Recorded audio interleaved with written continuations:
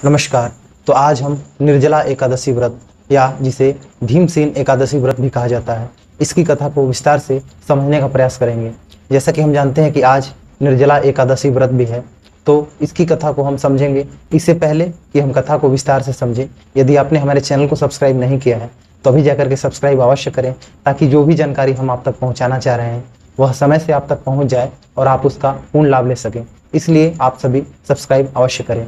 तो आइए निर्जला एकादशी व्रत के कथा को समझने का प्रयास करते हैं। यह कथा पाँच पांडवों में से भीम जी से जुड़ती है।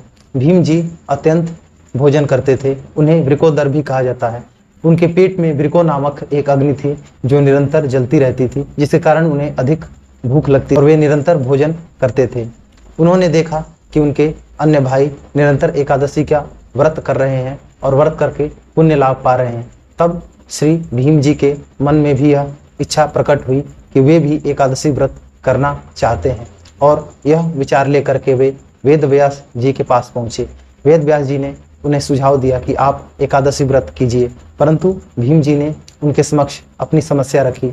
उन्होंने कहा कि वे निरंतर वृको नामक अग्नि से ग्रसित रहते हैं, जिसके कारण उन्हें निरंतर भूख लगती रहती है और वे अपने भूख पर नियंत्रण नहीं कर सकते, जिसके कारण वे निरंतर भोजन की तलाश में रहते हैं और उन्हें निरंतर भोजन की आवश्यकता पड़ती है। तब वेद व्यास जी ने उन्हें एक उपाय बताया। वेद व्यास जी ने कहा कि यदि वे प्रत्येक मास में आने वाली एकादशी को नहीं कर सकते तो वर्ष में यदि एक एकादशी भी करने में सक्षम रहे तो उन्हें सभी एकादशियों का लाभ मिल जाएगा। परंतु उन्होंने शर्त यह रखी कि इस एकादशी को करने में किसी प्रकार का अन्न अथवा जल का प्रयोग नहीं करना है। कहने का तात्पर्य है कि उस दिन हमें किसी प्रकार का जल, अन्न या किसी भी वस्तु का भोग नहीं करना है, उसे ग्रहण नहीं करना है। तब यह एकादशी पूर्ण रूप से फलित होगी और हमारे जीवन में बड़ा लाभ कर सकेगी। वेद व्यास जी ने भीमसेन जी से कहा, यह व्रत अत्यंत कठिन है, परंतु जो भी व्यक्ति यह करने में सक्षम होगा, उसे सभी एकादशियों का लाभ एक साथ ही मिल जाएगा। और वह व्यक्ति स्वर्ग का अधिकारी हो जाएगा।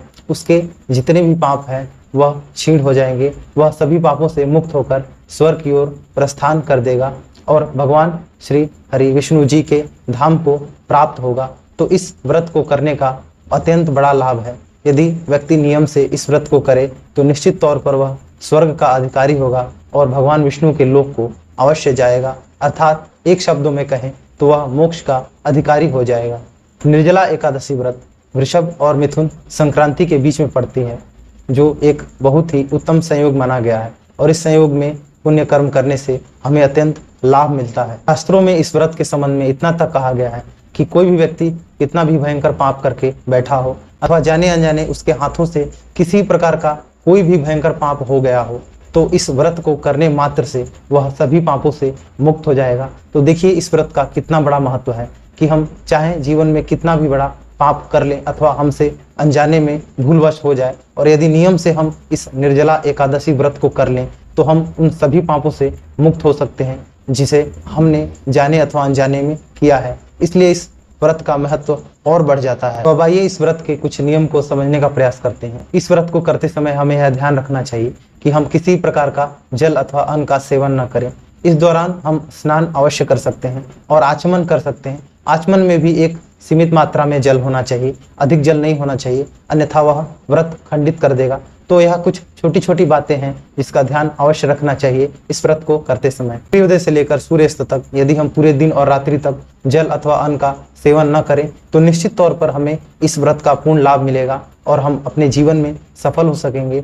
और जो भी नियम बताए गए हैं, उसका यदि हम पालन करेंगे, निश्चित तौर पर इस व्रत का फल हमें पूर्णतः मिलेगा। और जो शास्त्रों में बातें बताई गई हैं वह हमारे ऊपर लागू होंगी। हम उसका पुण्यता लाभ ले सकेंगे। इसलिए हमें इस व्रत को करते समय नियमों का ध्यान अवश्य रखना चाहिए, ताकि जो फल है वो हमें पूर्ण रूप से मिल सके। अगले दिन जब हम व्रत खोलें तो हमें दान करना चाहिए, स्नान करना चाहिए। यदि किसी व्यक्ति को धन की आवश्यकता है तो हमें धन भी देना चाहिए, अन्य इत्यादि भी देना चाहिए, ताकि हमारा व्रत जो है, वह पूर्ण रूप से सफल हो सके। इतना ही नहीं, इस व्रत को करने से जितने भी तीर्थ हैं, उसमें जाने का फल बैठे बैठे मिल जाता है। तो देखिए इस व्रत में कितनी महत्वता है। यदि यह व्रत हम करते हैं तो हम यदि तीर्थ नहीं भी गए हैं तो तीर्थ में जाने का फल हमें स्वतः ही प्राप्त हो जाता है। तो जो व्यक्ति इस निर्जला एकादशी अथवा भीमसेन एकादशी व्रत को करता है, उसे मृत्यु के समय काल के देव, जो जिसे काल कहा जाता है, उसके जो दूत हैं, वह नहीं आते। अपितु भगवान श्री हरि नारायण जी के दूत आते हैं और उसे स्वर्ग लेकर के जाते हैं, अथवा भगवान श्री हरि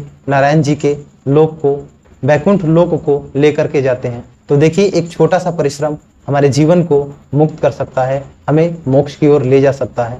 यह बात भले ही हमें छोटी लग रही हो, परंतु इस व्रत का कितना महत्व है, यह हम स्पष्ट रूप से देख सकते हैं। हमारे शास्त्रों में इसका कितना गुणगान किया गया है, इसका कितना वर्णन किया गया है।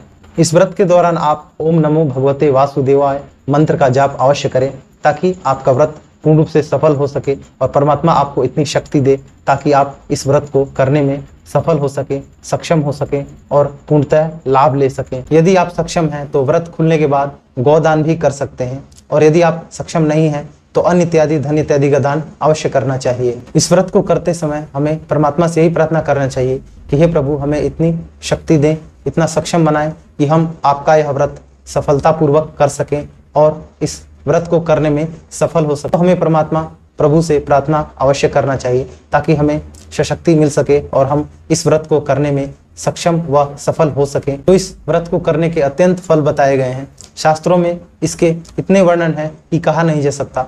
परंतु इतना अवश्य है कि इस व्रत को करने वाला व्यक्ति कभी भी दुर्गति को प्राप्त नहीं होगा। वो सदैव सफल रहेगा। लोक में भी और परलोक में भी उसे उत्तम गति प्राप्त होगी। निर्जला एकादशी व्रत के दिन जो व्यक्ति अन्न का सेवन करता है अथवा जल का सेवन करता है, उसे चांडाल योनि प्राप्त होती है। तो इसलिए हमें यह ध्यान रखना चाहिए, इस दिन हम कम से कम अन्न तो सेवन नहीं करें और केवल जल पर अथवा फल पर से अपने दिन को बिताएँ।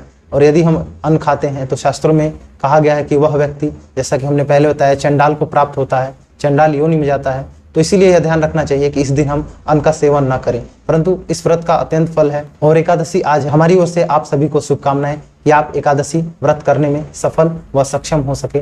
तो इसी कामना के साथ हम अति शीघ्र आप सभी से जुड़ते हैं। तब तक आप अपना ध्यान रखिए, सेवा का कार्य करते रहिए, भजन करते रहिए और निरंतर जागरूकता फैलाने का कार्य करते रहिए। धर्म की ओर जाइए, प्रभु को पाने का प्रयत्न कीजिए। हम मिलते हैं अतिशीघ्र, तब तक के लिए धन्यवाद।